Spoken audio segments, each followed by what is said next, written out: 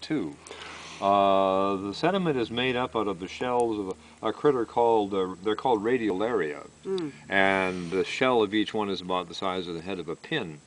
Mm. And they, they extract silica from seawater and they build their shells out of it uh, Mm. defensively and uh, it's a good structural material, I guess. And then they they live in the sunlit zone near the surface of the sea, and then when they die, their shells drop to the bottom and pile up on the bottom. Mhm. Uh, and in the deep ocean, the only thing which makes it to the bottom of the ocean as a sediment is uh, a little bit of organic matter and then these radiolarian shells. Mm. So the bottom of the sea uh, is carpeted, if you will, with layers of radiolarian shells.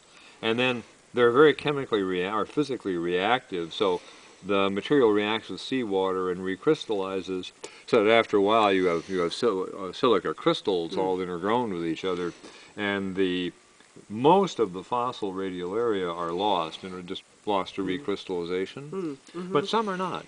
Hmm. So then a lot of the, if the chert's not too badly beat up, you can often find here and there in little black specks, and the black specks are radiolarian shells, and you can see them. Visible to the naked eye? Uh, the black specks sometimes are, and then if you have a, a powerful hand lens, 10x hand lens or something like that, you can see them. Wow. I, I So you, you never can Should tell. I You bring might- my hand lens? I should probably bring Sure. it.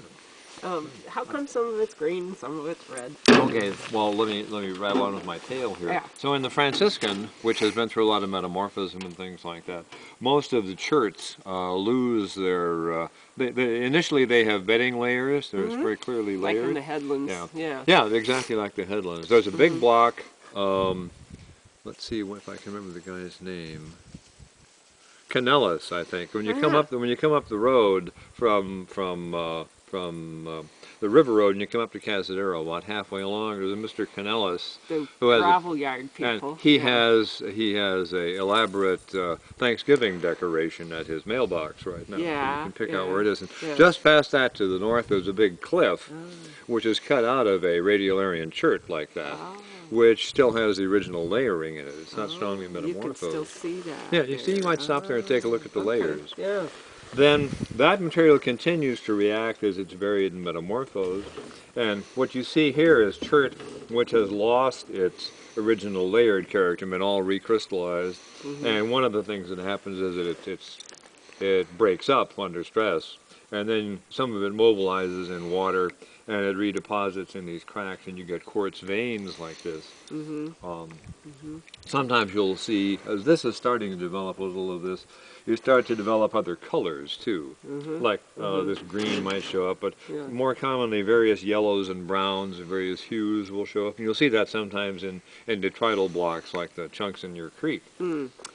And that's just different oxidation. That's caused by different oxidation states of the iron, as we would say. Oh, okay. So Yeah. it's the iron is causing the Right. coloration. Right, the iron is the main coloring mineral in rocks. Oh, really? So Okay. when it's hmm. in the plus two state, chemically it is, missing two electrons, then the compounds it makes are green. Huh. And when it has a plus three charge, then the compounds it makes are red or brown. Wow. So Isn't that something? this is relatively unweathered or unreacted. Uh, oceanic Hmm. crustal rocks, including the cherts, initially are all are all green. The Oh. iron's all in the plus two state. Uh-huh. And then when they approach the surface and they pick up surface water and things like that, they become more oxidized and you get uh, plus three ions and Hmm. things all change to uh, browns and yellows and things like Wow. that.